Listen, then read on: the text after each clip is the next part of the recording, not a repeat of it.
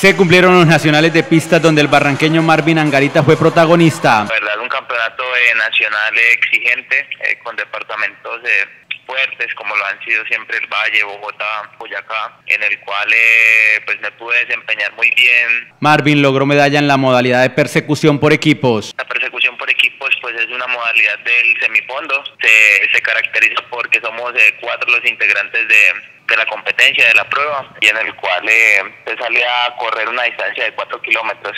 En esa prueba eh, disputamos eh, la final contra el Valle del Cauca, donde terminamos eh, ganando nosotros. En los nacionales se dieron cita a lo mejor del ciclismo a nivel nacional. Era importante este campeonato nacional porque era el requisito número uno para que los deportistas que aún no estaban clasificados pudieran estar en la máxima, en el máximo evento que es a fin de año, que son los Juegos Nacionales. Marvin sumó un nuevo logro para su carrera deportiva tanto en pista como en ruta.